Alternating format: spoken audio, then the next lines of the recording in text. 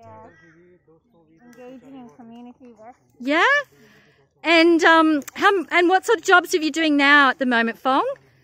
Uh, so I'm Val. Oh, Val, sorry.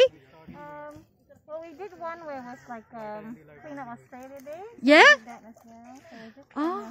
get him involved and Great. So you're regular volunteers, are you? Clean Up Australia. Now you're doing planting and watering. Yeah, just trying to keep it um, interacting with.